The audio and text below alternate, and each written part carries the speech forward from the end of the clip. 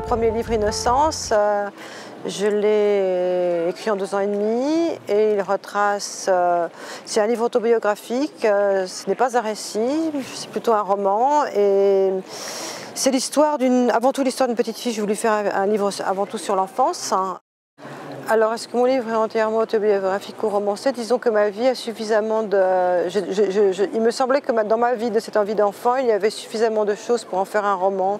Et euh, voilà, donc euh, il y a beaucoup de personnages aussi qui apparaissent comme dans les romans.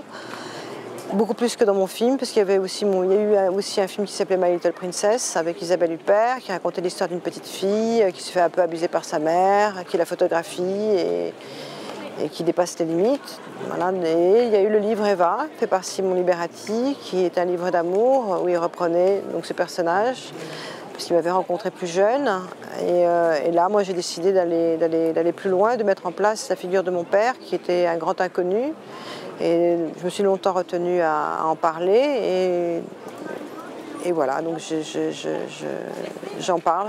Je l'ai très peu connu et son absence a été très, très marquante pour moi. Et, autant les photos étaient quelque chose que je pouvais percevoir dans, la- dans le visible, autant mon père était quelqu'un qui était nécessaire pour moi et qui était de la part de l'invisible et qui m'a aidé quelque part à me construire.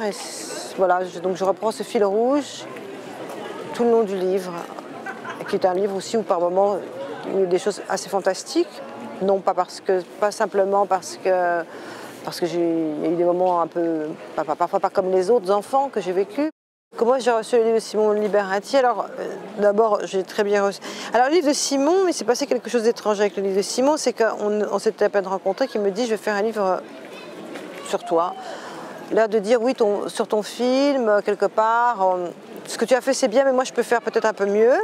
Moi, je dis écoute, c'est peut-être pas, pas la peine, parce que c'est vraiment, moi, c'est une matière dont je me sers, c'est ma vie, est quelque chose pour moi de, dont, quelque part je me sers, en tout cas, je, peut-être pas me sers, mais dont je m'inspire.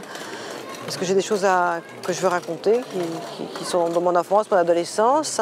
Et je dis non, ça m'embête.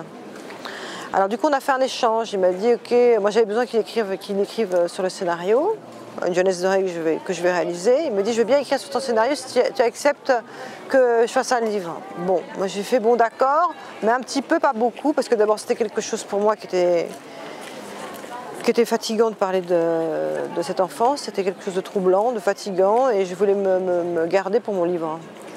Voilà. Donc euh, je l'ai à la fois bien reçu, et à la fois c'était quelque chose c'était quand même un travail.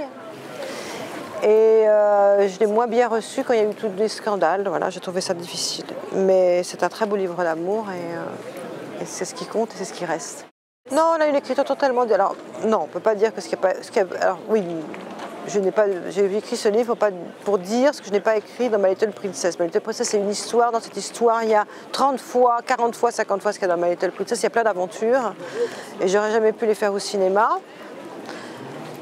parce que d'abord il y a une écriture euh, et que pour moi c'était la rencontre de l'écriture qui était intéressante, c'est euh, d'aller vers des choses qui tout d'un coup euh, prennent sens, sont insensées ou tout d'un coup prennent sens, c'est des choses violentes qui peuvent immerger euh, euh, quelque chose qui est au-delà du regard. Voilà, donc c'était, il y, y a des choses factuelles, mais c'est pas c'est pas ces choses-là qui m'ont intéressé, c'est il faut le lire pour le comprendre. Moi, j'ai aimé Carson McCullers quand j'ai été jeune parce que c'était une romancière qui m'a euh, fait découvrir euh, toute une partie de l'Amérique qui me passionnait. C'est l'Amérique des années 50, cette Amérique du Sud. Euh, elle avait quelque chose de juvénile, elle avait quelque chose de- il y avait quelque chose de battant, il y avait quelque chose que, j'avais jamais entendu avant et elle me parlait intimement de choses. J'aurais- aimé parler comme elle, j'aurais aimé être- et je m'identifie au personnage dans, dans Frankie Adams en en particulier. Euh, je crois que beaucoup de jeunes filles se sont identifiées, mais quand on lit tout seul et quand on est un peu paumé, quand on est jeune, on se dit c'est vous, c'est moi. Donc euh, par la suite j'ai lu ses autres romans et j'ai trouvé ça formidable. Et ça m'a fait très plaisir que, Manuel me propose de faire euh, une préface parce que ça m'a donné l'occasion de relire absolument tous ses romans et, et de, et de partir sur cette trace à New York.